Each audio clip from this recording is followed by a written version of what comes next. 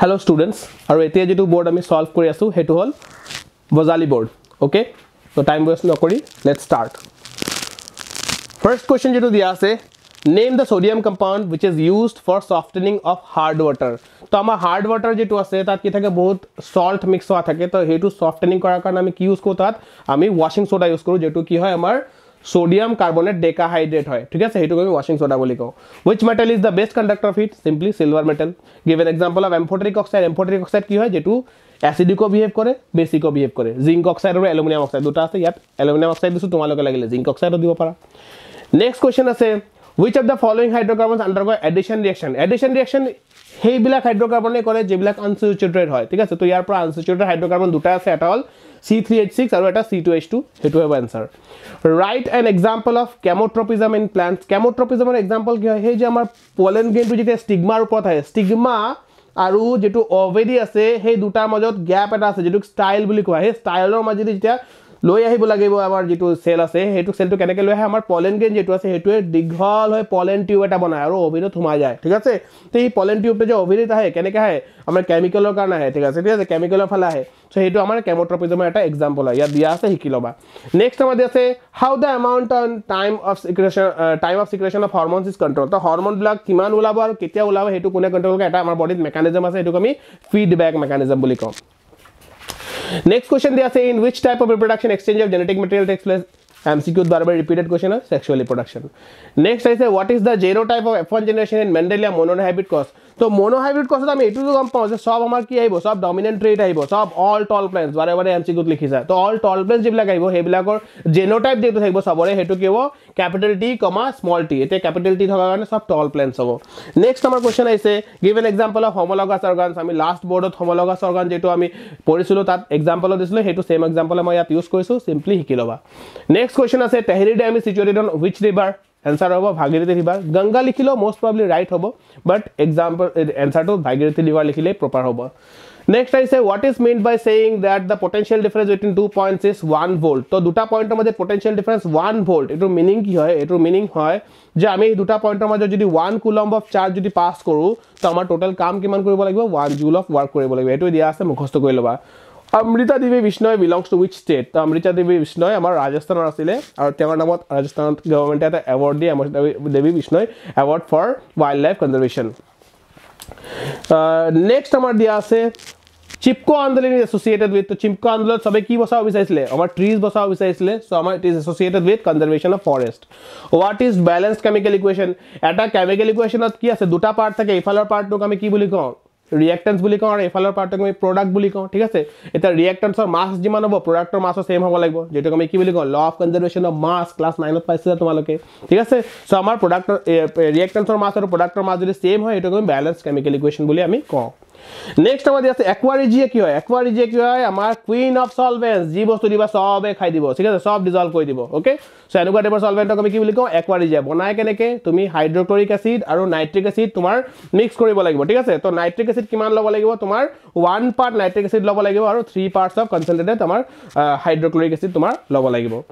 Next আমাৰ আছে what is biological magnification biological magnification কি হয় যে আমি যেতিয়া আমি কিবা হাৰ্মফুল ছাবষ্টেঞ্চ অলপ অলপ খাই থাকোঁ ফৰ এক্সাম্পল যে আমাৰ আজিকালি চব বস্তুবিলাক D D T C D C এইবিলাক যিবিলাক দি আমাৰ ভেজিটেবলছবিলাক আহে আৰু যেতিয়া আমি সেইবিলাক খাওঁ আমাৰ বডিত সেইবিলাক কি হয় অলপ অলপকৈ জমা হৈ থাকে। এটা টাইমত বহুত ডাঙৰ বহুত বেছিকৈ জমা হৈ যায় আৰু আমাৰ তেতিয়া কি হয় ডিফাৰেণ্ট ডিফাৰেণ্ট আমাৰ বেমাৰ হয় ঠিক আছে? সেইটোকে আমাৰ কি বুলি কোৱা হয় বায়'লজিকেল মেগনিফিকেশ্যন অলপ অলপকৈ যে বেয়া বস্তুবিলাক আমাৰ বডিত জমা হৈ আছে সেইটোক বায়'লজিকেল মেগনিফিকেশ্যন বুলি কোৱা হয়। What is magnetic field lines of force তো মেগনেটিক ফিল্ড লাইনছবিলাক কি হয়? যে আমাৰ নৰ্থ প'লটোৰ পৰা যিবিলাক লাইনছবিলাক ওলায় তাৰমানে জাষ্ট ইমেজিন নৰ্থ প'লটোক যদি এৰি দিয়া ই কোনফালে যাব? চাউথ প'লৰ ফালে যাব ঠিক আছে? তো ই যিটো পাথ পাথে যাব সেই পাথবিলাককে কি বুলি কোৱা হয়? মেগনেটিক লাইনছ অফ ফ'ৰ্চ বুলি কোৱা হয়। এইটো সদায় কি হয়? Always begins from the north pole of the magnet and ends at the south pole of the magnet next আমাৰ দি আছে what is mean by the power of accommodation of the eye বাৰে বাৰে পৰিছে আমি কি আছে? যে আমাৰ আই লেন্সটো যিটো আছে সেইটো দূৰৰ বস্তুও চাব পাৰে ওচৰৰ বস্তুও চাব পাৰে আৰু সেইটো কাৰণে আইলেন্সে নিজৰ শ্বেপ চেঞ্জ কৰে শ্বেপটো কোনে চেঞ্জ কৰি দিয়ে? চিলিয়াৰ মাছলে চেঞ্জ কৰে। তো আইৰ যে এইটো পাৱাৰটো আছে যাৰ কাৰণে আইলেন্সে নিজৰ শ্বেপ চেঞ্জ কৰিব পাৰে দূৰৰ বস্তু চাব পাৰে ওচৰৰ বস্তু চাব পাৰে এই পাৱাৰটোকে পাৱাৰ অফ একমডেশ্যন বুলি কোৱা হয়। নেক্সট আছে হোৱাট ইজ টিণ্ডাল ইফেক্ট তো টিণ্ডাল ইফেক্ট কি হয় যেতিয়া লাইট আহি থাকে তাৰ ৰাইটৰ ৰাস্তাত যদি কিবা এটা পাৰ্টিকেল আহে সেই পাৰ্টিকেলবিলাকত লাগি লাইট স্কেটাৰ হৈ যায়। এই ইফেক্টটোকে টিণ্ডাল ইফেক্ট বুলি আমাৰ কোৱা হয়। হোৱাট ইজ প্লেচেণ্টা প্লেচেণ্টা কি হয় যে আমাৰ ডিউৰিং প্ৰেগনেঞ্চি আমাৰ এটা বডিৰ ভিতৰত এটা ফিমেল বডিৰ ভিতৰত যিটো আমাৰ বেবীটো থাকে সেই বেবীটোৱে ফুডটো পাব লাগিব না। ফুড কেনেকৈ পাব? আমাৰ ব্লাডত ফুড থাকে। আৰু সেইকাৰণে বেবীটোৰ ওচৰত ব্লাড ছাপ্লাই হ'ব লাগিব। তো মাদাৰৰ যিটো ৱৰ্ম আছে সেই ৱৰ্ম ইউটাৰাছৰ ভিতৰত এটা ডিস্ক লাইক ষ্ট্ৰাকচাৰ হৈ যায় ব্লাড ভেচেলছ দি। আৰু তাৰ পৰা আমাৰ ব্লাডটো কি হয় সেই ডিস্ক লাইক ষ্ট্ৰাকচাৰৰ পৰা বেবীৰ লগত আমাৰ কানেক্টেড থাকে। তাত আমাৰ মাৰ পৰা ব্লাডবিলাক বেবীৰ ওচৰত আহে আৰু এই ব্লাডৰ পৰা বেবীটো আমাৰ ফুড পাব পাৰে। সেই যে ডিস্ক লাইক ষ্ট্ৰাকচাৰ যিটো ফৰ্ম হয় সেই ষ্ট্ৰাকচাৰটোক আমাৰ কি বুলি কোৱা হয়? প্লেচেণ্টা বুলি কোৱা হয়। নেক্সট আমাৰ কুৱেশ্যন যিটো আছে what is the function of lymph লিম্ফে কি কৰে? আমাৰ ব্লাডৰ পৰা যিবিলাক ইম্পৰ্টেণ্ট বস্তুবিলাক ওলাই যায় টিচু টিচুৰ ভিতৰত টিচু ফ্লুইড যিটো হয় টিচু ফ্লুইডটো ঘূৰাই আকৌ ব্লাডত লৈ আহে সেইটো এটা ফাংচন হয় তাৰ। আৰু কি কৰে? আমাৰ বডি যিটো আছে বডিৰ ভিতৰত যিটো টিচুৰ মাজত যিবিলাক আমাৰ জাৰ্মছবিলাক আছে সেইবিলাকক মাৰি পেলাই ঠিক আছে? তো সেইবিলাকক মাৰি আমাৰ বডিক প্ৰটেকশ্যন দিয়ে। আৰু কি কৰে? আমাৰ যিবিলাক ফ্ৰেগমেণ্টছ অফ ডেড চেল যিবিলাক থাকে এনেকুৱা টাইপৰ ৱেষ্ট প্ৰডাক্ট যিবিলাক থাকে সেইবিলাকো ইহঁতে খাই পেলাই ঠিক আছে? লিম্ফচাইটছবিলাকে খাই পেলাই সেইবিলাক আমাৰ ক্লিনিং কৰি দিয়ে। তো হাউচ ক্লিনিঙৰ কাম হাউচ ক্লিনিঙৰ কাম কৰে।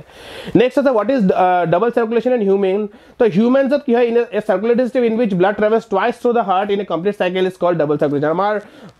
আমাৰ আমাৰ চাৰ্কুলেশ্যন বুলি আমাৰ কুৱেশ্যন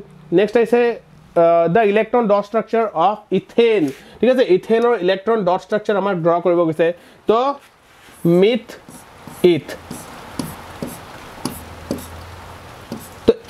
এইটো যিটো ড্ৰ কৰিছোঁ এইটো আমাৰ কি হ'ব? ইথেনৰ ষ্ট্ৰাকচাৰ চিম্পলি ঠিক আছে? চ' এইটো তোমালোকে ড্ৰ নকৰিবা কিন্তু মই জাষ্ট এনে ড্ৰ কৰিছোঁ ইয়াত ঠিক আছে? এতিয়া তোমালোকে ড্ৰ কি কৰিব লাগিব? ইয়াৰ পৰা চোৱা ইয়াত ৰাফলি ৰাফত ড্ৰ কৰি ল'বা আৰু ইয়াৰ পৰাই ড্ৰ কৰিব পাৰা। ইয়াত তোমালোকে এনেকৈ চি আৰু চি দুটা ড্ৰ কৰি দিয়া। ছিংগল বণ্ড এটা আছে ছিংগল বণ্ডৰ কাৰণে ইয়াত দুটা ডট দিয়া। দেন ইয়াত তিনিওফালে আমাৰ কি আছে? ছিংগল ছিংগল বণ্ড আছে ছিংগল ছিংগল বণ্ডৰ কাৰণে এইফালেও দুটা ডট এইফালেও দুটা ডট দিয়া। এইফালেও দুটা ডট দিয়া। ঠিক আছে? চব জেগাত আমাৰ কি আছে? হাইড্ৰজেন আছে হাইড্ৰজেন লগাই দিয়া। হাইড্ৰজেন লাগি গ'ল ঠিক আছে? আৰু এইফালে আমাৰ কি আছে? এইফালেও আমাৰ হাইড্ৰজেন আছে এইফালেও আমাৰ হাইড্ৰজেন আছে এইফালেও আমাৰ হাইড্ৰজেন আছে। ছিংগল এটা ছিংগল বণ্ডৰ কাৰণে সদায় দুটা ডট আহিব। আৰু ডাবল বণ্ডৰ কাৰণে সদায় চাৰিটা ডট আহিব। মনত থবা ঠিক আছে? চ' এইটো যে ইয়াত ড্ৰ কৰিলোঁ এইটোৱে হ'ল একচুৱেলি তোমালোকৰ কুৱেশ্যনৰ এনচাৰ ঠিক আছে? সেইটো হ'ল আমাৰ তোমালোকৰ কুৱেশ্যনৰ এনচাৰ এইটো কিন্তু নহয় ঠিক আছে? এইটো তোমালোকক বুজোৱাৰ কাৰণে মই দিছিলোঁ। তোমালোকে ৰাফত এইটো বস্তুটো ড্ৰ কৰিবা।